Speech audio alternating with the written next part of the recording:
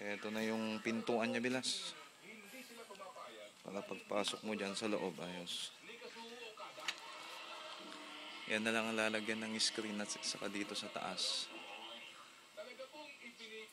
Pwede na. Ito naman kumpleto na.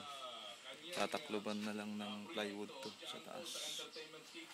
Dito na lang muna yung mga sisiw. Pag maliit pa sila. Dito na lang muna. Tapos pag malaki na, saka ilalagay dyan.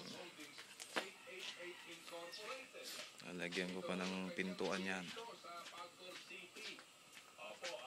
Maliban doon sa mga casino na pag-aari po ng Shumart, na pag-aari po ni Andrew Tan, opo, at